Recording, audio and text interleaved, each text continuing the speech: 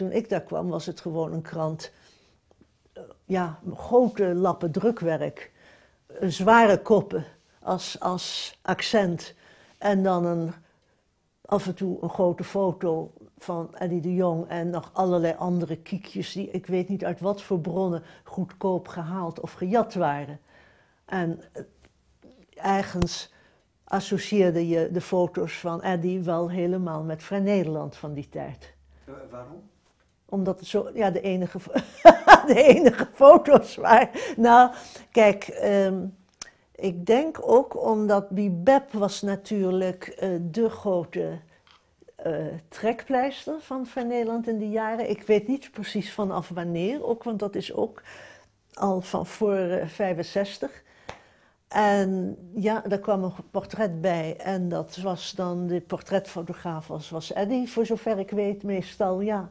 En ja, de, de, krant zoals die dan in de kiosk lag, had de grote kop Vrij Nederland. Daarnaast stond een portretje van iemand die door Bibep geïnterviewd was, tenminste. En dat portretje zal in die tijd vaak van Eddie zijn geweest. Dus je zag die, de trekpleister was Bibep, maar daar stond Eddie toch mooi naast. dus die associatie heb ik van dat hoekje Vrij Nederland waarop Vrij Nederland verkocht werd. Niet dat het zo uitzonderlijke foto's waren, nee, dat kan ik niet zeggen, nee. Nee. nee. Dat was tekst, lappentekst. Op een gegeven moment is, is lunch is eigenlijk de lunch van Eddie en niet meer een lunch in his own right. Dat, dat, dat was. Ja, en. ehm, Ja, want u schrijft dat, dat Luns niet meer kon tippen aan eh, het beeld dat Eddy van hem had. nou, dat zou best kunnen hoor. Ik Ja. bedoel, want het is wel. Maar ja. wat- ja, Ik weet niet, ik kan het laten zien. ja, Kijk, dus het is qua beeld natuurlijk toch een hele. Kunt je voorstellen dat als je daar een grote lap grijze tekst om hebt, dat dat heel sterk werkt, deze lunch. Hij had dus de reputatie van uitermate onhandig te zijn en eh, bij wijze van spreken camera's uit zijn handen te laten vallen. Ja, het verhaal van Igor Cornelissen van een hooimeid die dan in zijn lens, achter de lens kroop. Een hooimeid. Ik weet niet eens wat het is, maar het moet eens een of ander insect zijn, wat denk ik erg vervelend is als je in je lens hebt. En het algehele beeld uit die verhalen was inderdaad van allerlei dingen die mis konden gaan. Maar kijk, journalisten zijn ook wel dol om mooie verhalen te vertellen en die aan te dikken. Dus ik, ik heb denk, nadenkend weer eens over hem. Was hij nou werkelijk zo onhandig? En in hoeverre was, zat er achter die onhandigheid ook een soort opzet? Er zijn dus twee vragen eigenlijk. Ja, was, vraag heb ik ook. was hij zo onhandig, werkelijk? En ja, als iemand, stel dat hij onhandig was. Ik bedoel, je kunt verlegen zijn en je kunt onhandig zijn, maar het waait je toch niet helemaal aan. Daar komt hoe dan ook toch bepaalde keuzes bij in het leven, waardoor je een bepaalde rol kiest of erin blijft zitten. Maar of... een hypothese dan? Nee, nee, want het, is Oh. een, het is een vraag die mij eigenlijk bij mij opkomt, terugdenkend aan wat ik me herinner van Eddy. Ja. En, en zijn reputatie dan ook, ja. Er moet, ik denk er moet iets anders achter zitten, ja. Ja, Ik, ik denk, kijk, verlegen mensen en onhandige mensen kunnen ook, ja, hun, hun, hun agressie tegen de wereld op een heel andere manier uiten dan agressieve mensen. maar ik bedoel, je, je, er, er zit meer achter, denk ik, maar ik weet niet wat. ja, het is eigenlijk een ontstellend verhaal dat iemand het zo ver laat komen eigenlijk. Hè? ja. Ja. Dat is een manipu- manipulerende onhandigheid. Hè? Ja, Ja, ja. Ja, dan heeft, kun je Ja. bijna zeggen, heeft zijn eigen graf gegraven. Ja, bijna wel, ja, ja, ja, ja. oké. Ehm, Ik denk dat hij toch zijn kansen niet groot waren om daarin mee te gaan. Omdat hij toch heel beperkt was in wat hij tot op zeker niveau kon. Jaren zeventig eh, begon die, was die fotografie zo in beweging, kwamen er En omdat die tijd zelf zo in beweging was. Ik doe, er gebeurde ontzettend veel. Ja, En ja. Dat, dat vereist een vorm van ja, op straat zijn en gevoel hebben voor wat er beweegt.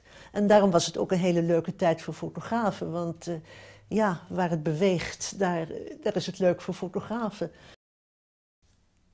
Ik denk niet dat die. eh, maar dat is meer mijn veronderstelling, want ik ben er nooit bij geweest als die fotograaf, dat, dat hij het niet helemaal beheerste. Ik weet wel dat je toch een, een, wat je kreeg een ongewis resultaat was.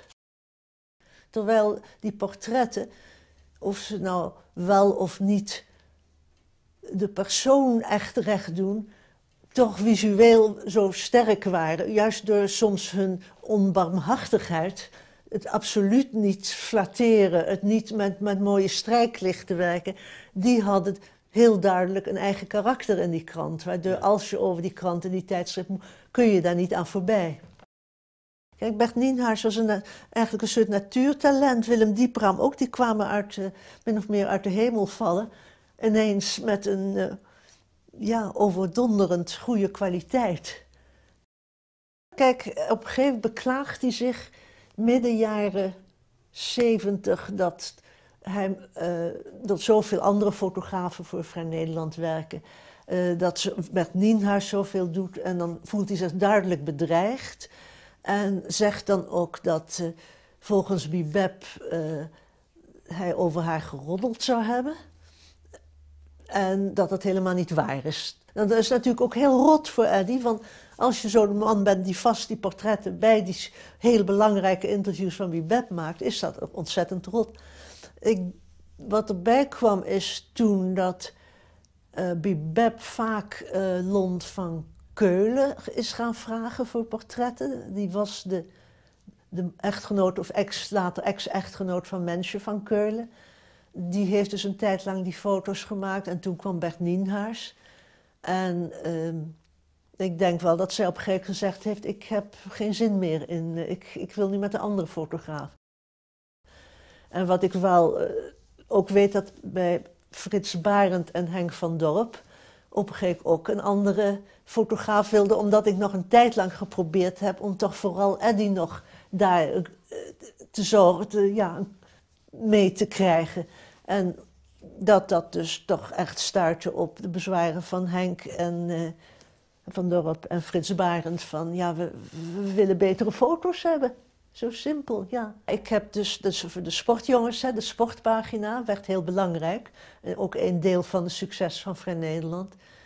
En ehm, ja, eh, Henk van Dorp, Frits Barend waren dus helemaal niet tevreden over die foto's. En Van Eddy. van Eddy en wilde graag met Bert Nienhuis werken. En ik heb nog een tijd lang mijn best gedaan om te zorgen dat ze toch met Eddy bleven werken. En dat is, eh, ja, op een gegeven moment stokte dat toch, hield dat op ook en was dat heel begrijpelijk.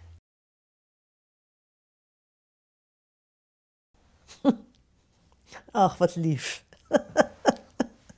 Wie is dat? Jan Kramer, als jonge knul. Hele grote lap tekst en dan zo boem, dat hoofd van Wiegel. Ja, dit is eentje die natuurlijk ook heel vaak meegegaan is. Oh ja? Den Uil, ja. Iedere keer als er even een foto van Den Uil nodig was. Ja, dat is de beroemde van Luns. hun, hun patsboom karakter. Zo boing. Daar is iemand. Ja, boink. Nee, sommigen hebben echt iets monumentaals, zoals die Wiesenthal. Dat zou je zo in brons gegoten kunnen zien. En dat je vaak het gevoel kreeg van, nou, iemand is wel heel ongelukkig geportretteerd. Nou zijn eigenlijk alle mensen lelijk, als je er heel, heel goed naar kijkt. Het is toch een beetje sneu. Vaak is er toch een soort uitstraling of expressie, waardoor iemands uiterlijk je voor ze wint. En ik geloof niet dat hij daarnaar op zoek was of dat bewust kon vasthouden of vastleggen. Ja, dan denk ik toch, die portretten hadden iets onverbiddelijks wat dit niet heeft. Ja, ja. ja. Dat, eh,